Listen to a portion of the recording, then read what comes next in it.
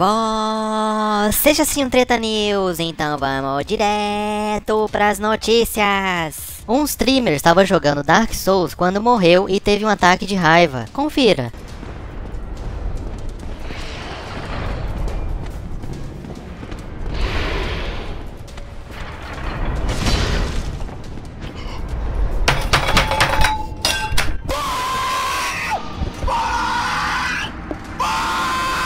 Enquanto isso, o Felipe Neto postou um vídeo lendo comentários com sua namorada, e um dos inscritos sugeriu que eles fizessem um vídeo de pegadinha. Felipe Neto respondeu que não gosta desse tipo de conteúdo, e que é tudo fake. Ele não chegou a citar o nome do Resende, mas mencionou um exemplo de vídeo em que uma pessoa está invadindo a casa da outra. Confira o trecho. E é sempre combinado. Não, mas eu acho que é real! É combinado é falso. Mas eu tenho certeza que o meu ídolo fez de verdade! É mentira.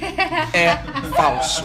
Tá? Mas eu sei que tem um cara que tá invadindo a casa de É mentira. Não é verdade. Eu não tenho culpa, Bruno! Porra! Não dá, cara! Será que ele estava se referindo ao invasor? E por falar no Resende Evil, ele postou um vídeo entrevistando seu amigo policial. No vídeo, Resende diz que é complicado provar que ele é policial mesmo, pois iria expor seu nome e identificação. Além disso, o policial confirmou que o invasor fica agressivo quando não toma seus remédios, e que o invasor não vai ficar preso. A entrevista não convenceu parte do público, pois o vídeo teve mais de 5 mil dislikes, e muitos comentários duvidando dessa história. Alguns acham que isso é uma deixa para uma possível segunda temporada, já que o invasor vai continuar solto. Será que esse vai ser o último vídeo sobre o invasor no canal do Resende? Apenas o tempo dirá. Então é isso galera, essas foram as notícias do dia. Se você gostou, não se esqueça de se inscrever.